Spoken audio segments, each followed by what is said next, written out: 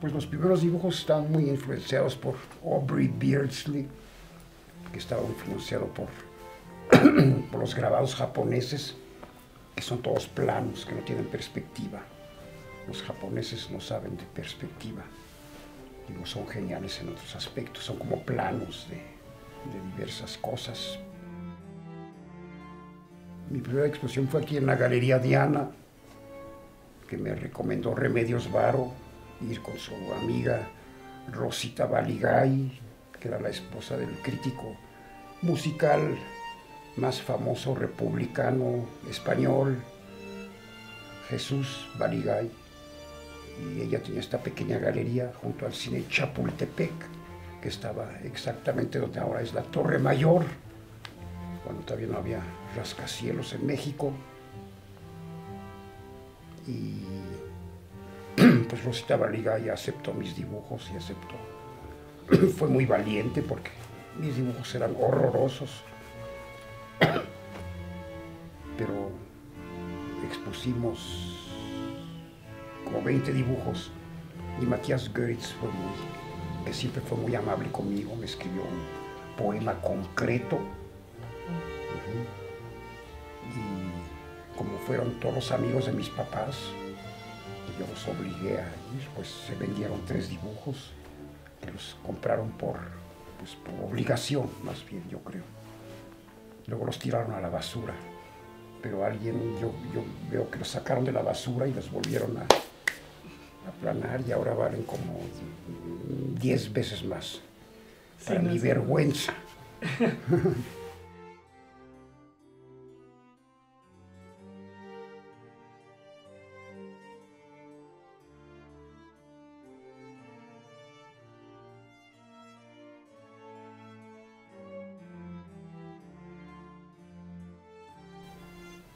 me interesa todo lo que es bueno.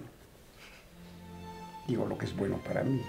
Seguramente ya ahorita está muy demodé la, la pintura barroca, la pintura clásica. Yo creo que es estar de vanguardia es apoyarse en lo que se pintaba hace 500 años.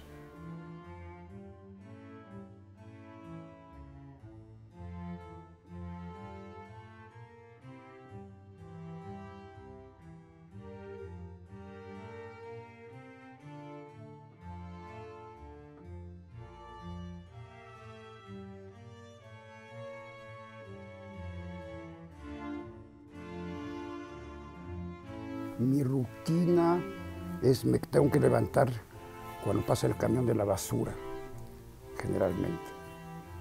Luego ya me piden de comer los gatos. Eso es como a las siete y media de la mañana. Luego me vuelvo a acostar otro ratito para descansar de esas arduas labores.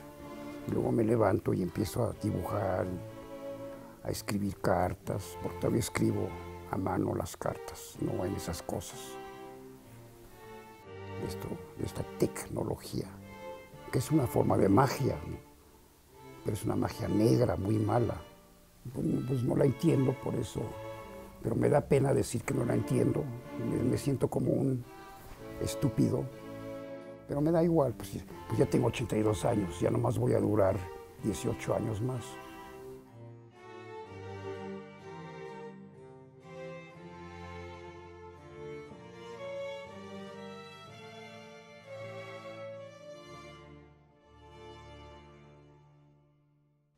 No, yo no soy de este mundo.